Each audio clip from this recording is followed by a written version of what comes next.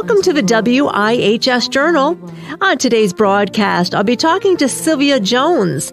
We'll be talking about her CD called A Reason, and today talking about some of the songs that are on the CD, and one song in particular that really strikes home is Psalm 91. Of the Almighty, I will say of the Lord.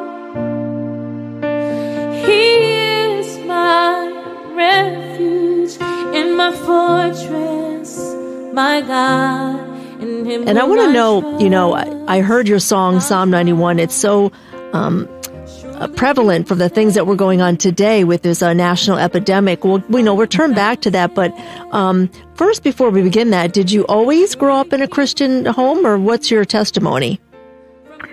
So, hi, Anissa. First of all, I want to say thank you so much for having me on. I really appreciate uh, this opportunity to be with you and the listeners. Um, so, in terms of your uh, question, yes, I grew up in a Christian home, and um, you know, as with any home, there, you know, homes aren't perfect, but I came to know God at a very early age, and so I was raised in the church. Praise God! That's a powerful testimony in itself.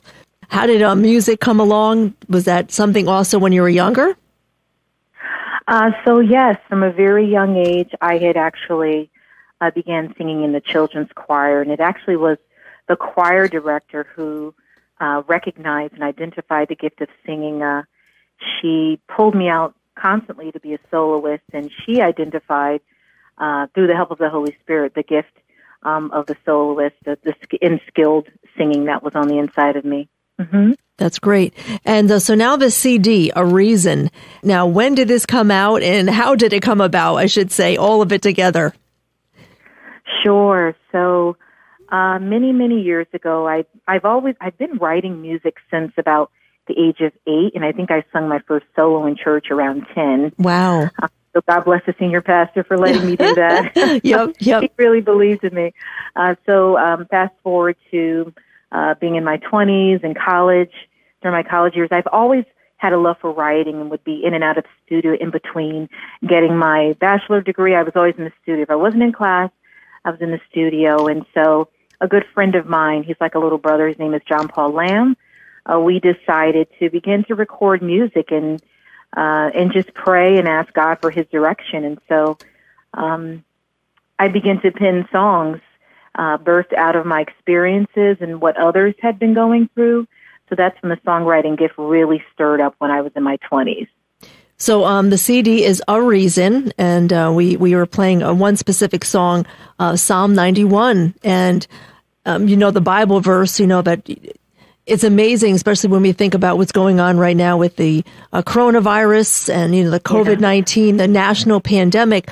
And when you hear a song like that, Psalm ninety one, when you actually wrote it and sung it, what was your you know what was your spiritual purpose behind that? You know, it's a it's a beautiful psalm, and it is one of my favorites. But to be quite honest, I didn't plan to record it uh, we were just about done with my first music project, which is the one that you have there at the radio station. And I wanted to sing a song unto the Lord in a spontaneous type of way. That melody, everything about that song was not rehearsed. Uh, the producer hit record, and I opened up the Bible, and that's one of the psalms that it opened up to, and I just simply began to sing. He'll command his angels concerning you and they will guard you in all your ways. They will lift you up, up in their hands. They will lift you up, that song, but that song itself really speaks of who God is and His sovereignty and and how much He loves us, His children, and those of us that call Him Savior, that call Him Father God, that it's just a blessed assurance that we can know no matter what that He is with us, He's protecting us, and He's going to keep us. Amen. In that psalm, you know, one of it, you know, pertain to now and be something. It says that a thousand may fall on your side and ten thousand on your right, but nothing shall come near you. And also yeah. that you know He'll keep all um, diseases from you. Hmm. Yeah. Yes, very timely and you know, what's going on with this coronavirus. You know, if we're not careful as believers, we can begin to um, act like the world and begin to really focus so much what the news is saying and make those reports um, greater and more important than what the report of the Lord is and what His Word says. And of course, we have to use wisdom in all things, right? You know, Absolutely. we have to practice the physical distancing and washing the hands and all of that stuff. Is it important? It is important, but we have to know that our sovereign God um, and the blood of Jesus is greater, and it will cover us and keep us. Amen. And so the the psalm is so timely. I'm so thankful. Absolutely. Like I said, I, I, I came in, I heard, I was like, wow, this is like, this is so timely in, in today's pandemic, you know? So in, in doing the CD, I, that was one of my favorite songs that kind of just resonated with my soul right away. And for you, what, what is your favorite song on the CD and why? Actually, you know, one of my favorite songs on the CD is called Miracle. And I actually did a remix of that one. I'd love to send it to you at some point. Um, but that song is really just, once again, speaking of God's um, ability to do the impossible, right? Um, when I penned that particular song, I, I recall I was single at the time and I was like, Lord, I just need you to show me some things. I need direction uh, regarding what to do after college. I need direction for my life. And so uh, he began to and I really needed some mountains to move, and he really began to allow me to pen those words of that song, um, "Miracle," and it's such a it's it's a powerful song as well. Father, I've come to let you know it's time for your miracle. You live for your miracle. It's gonna do the impossible. Every single thing that he says. So I'm so grateful for that. I, Absolutely. What kind of feedback have you gotten from the CD? You know, I've gotten wonderful feedback, and actually, a few years ago, um, there was a Gospel Awards ceremony here in uh, Connecticut, and I was I actually won as Gospel Artist of the Year for actually the song Miracle, I believe.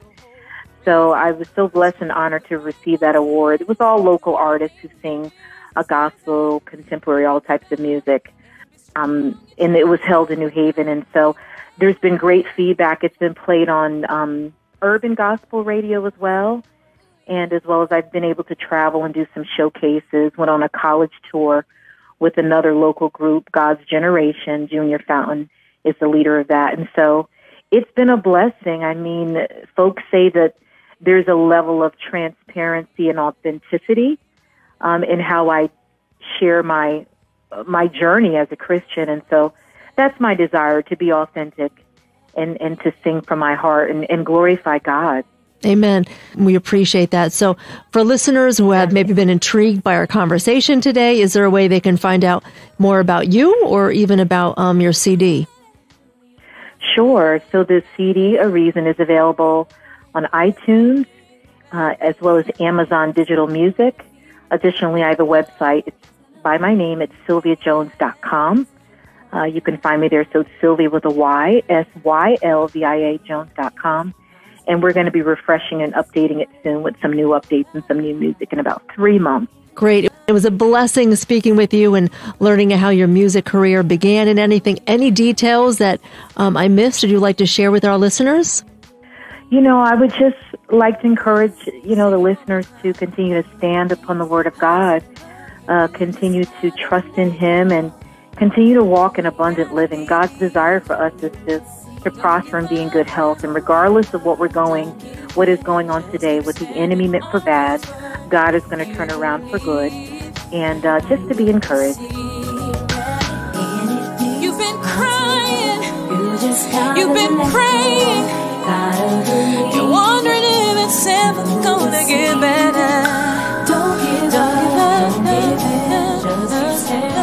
Once again, that was Sylvia Jones. She's a music recording artist, and her CD is called A Reason. For more details on this broadcast, call WIHS at 860 346 1049. The opinions expressed are those of the participants, not necessarily of those of the staff and management of the station. I'm Anissa Porticelli. The WIHS Journal is public affairs from WIHS, Middletown,